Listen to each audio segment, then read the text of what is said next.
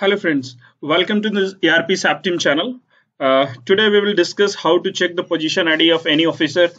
Uh, every time we are just confused while assigning the role, the core team just want the mention the position ID in the basis 01 template. So I'm just uh, showing you how to check the position ID of any uh, officer using the, his or her HRMS number. Okay, so I am just using the T code PA20 okay? Just go in the command box use the transaction code PA20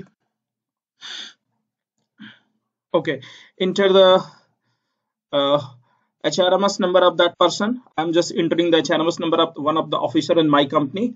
Okay just enter press enter. This is Mr. Uh, uh, his uh, name of the officer. And uh, just click on the organizational assignment okay and click on the display button okay? You will see each and everything.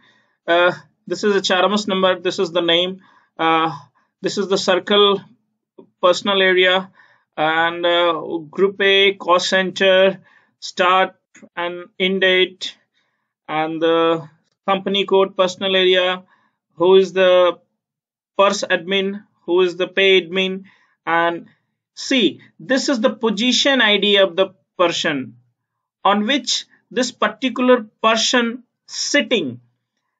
The total role will be assigned by the core team on this position. Okay. Suppose this person will transfer after a few days, after a few year or just retire from this position after a few months, then new person that is the DGM EB new person that that took the that will took the charge of the DGM EB will sit on this particular position. Position is unique in every company. So core team always assign the role on the position. Okay getting my points.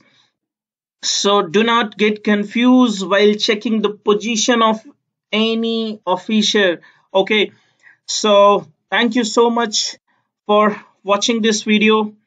And one more thing i just want to include in my videos how to check the roles on any particular position. I do not have that roles and authorization to check the roles on the position but hr admin and few uh, the group a officers have such type of the roles who just check these things what are the roles on the particular position.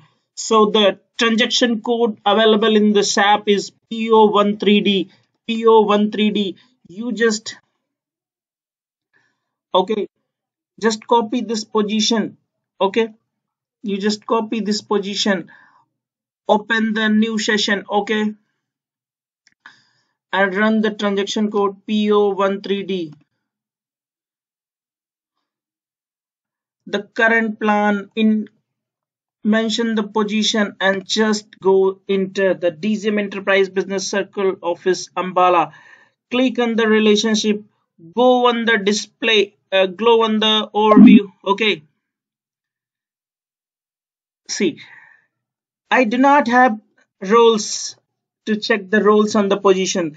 So, so if you have certain roles, then you just check there is a one there there is a there is a one uh, column is the roles on the position. You will check all type of the roles available on this position. So this these are the information uh, very much helpful for uh, checking the roles on the particular position. Okay. So thank you so much for watching this video.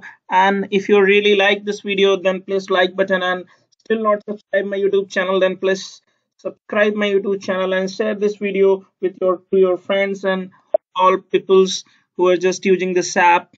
Okay, thank you so much. Have a good day. Stay safe at home. Thank you.